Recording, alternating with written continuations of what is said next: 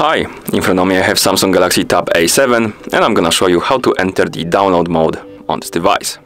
First we need to turn off our device. To do it, press and hold the power button. Then tap the power off option on the screen and tap on it again.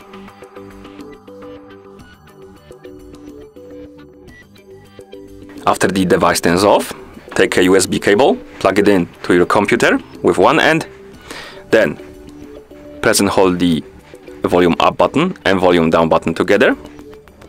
And while holding the buttons, plug in the second end to your tablet.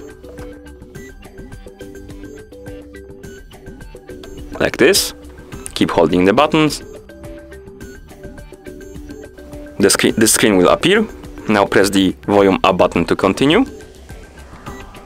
And we enter the download mode.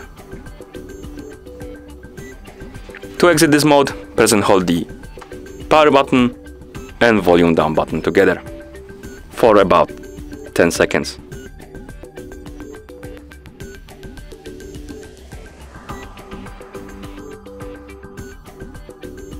When the screen, screen goes black, basically you can release both buttons.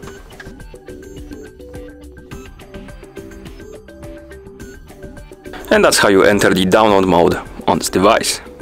Thank you for watching. If you found this video helpful, please consider subscribing to our channel and leaving the like on the video.